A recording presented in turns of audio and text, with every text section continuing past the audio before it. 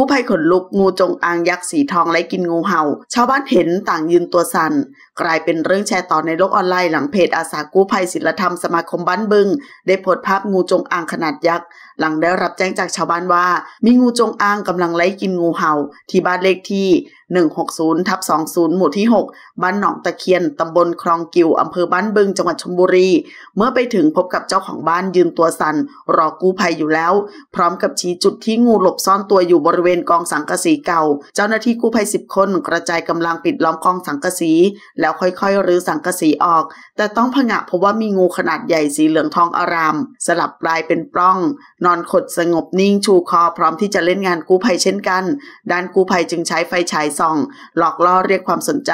และใช้บ่วงเชือกคล้องส่วนหัว จับนำตัวออกมาที่ลานกว้าง จากนั้นก็ใส่กระสอบน้ำตาลสองชั้น มัดปากนำมาที่ศูนย์กู้ภัย เพื่อชั่งน้ำหนักวัดความยาว ปรากฏว่ามีน้ำหนัก 18 กิโลกรัม ยาว 4.34 เมตร ขอขอบคุณข้อมูลจากทีนิวส์ขอบคุณค่ะ